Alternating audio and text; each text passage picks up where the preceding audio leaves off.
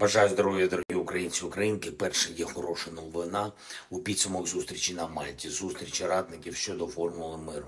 Погоджено заяву співголів саміту, базову і таку, що єднає. Це правильний сигнал. Що б не відбувалося у світі, головне це єднання заради реальної сили міжнародного права, бо це єднання заради справедливості для України, для України і усіх країн та народів, які можуть зазнати агресії. Друге, вже готуємось до важливих кроків, які заплановані на перші тижні листопада. Взагалі, цей листопад та грудень мають стати вагомими для України.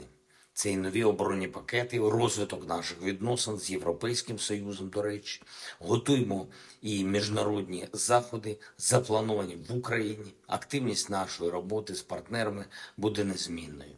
І третє це наша вдячність. Важливо ніколи не забувати, як багато людей, різних людей докладають своїх зусиль для захисту нашої держави і українців для збереження України, стійкості нашої держави, нашого суспільства та кожного і кожної з нас.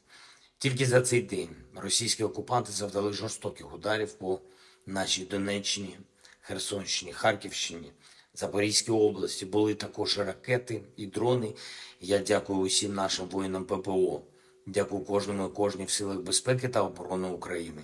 А особливо я хочу відзначити сьогодні саме тих наших людей в різних регіонах України, які, попри всі складнощі, прибувають у будь-який час доби на місця обстрілів, ліквідовують наслідки ударів, розбирають завали, розміновують територію, гасять пожежі, рятують людей, фіксують докази російського терору. Це всі наші працівники ДСНС, всі наші лікарі, працівники екстреної допомоги, комунальники, наші волонтери, наші поліцейські, слідчі та криміналісти, наші прокурори, сапери, піротехніки, усі, хто допомагає. Дякую вам. Окремо я хочу подякувати усьому складу ДСНС України в Херсонській області, а особливо тим, хто працює у місті Береслав та в інших містах і селах, по яким постійно б'ють окупанти, бомби, артилерія. Але наші люди там ніколи не залишаються без допомоги.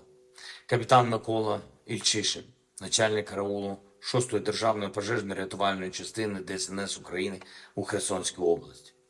Олександр Чайка, головний майстер-сержант, командир відділення цієї 6-ї пожежно-рятувальної частини.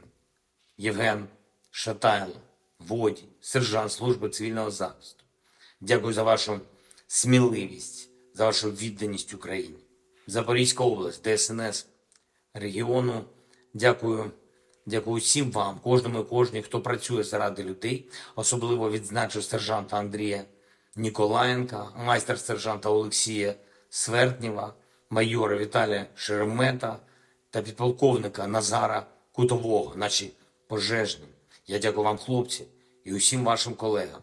Хмельницька область, по якій російські війська цілять ракетами і шахедами.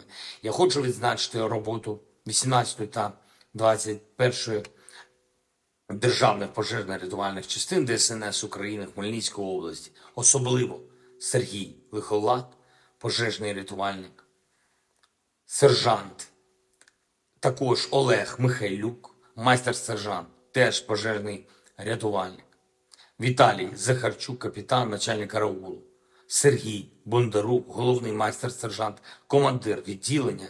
Дякую вам.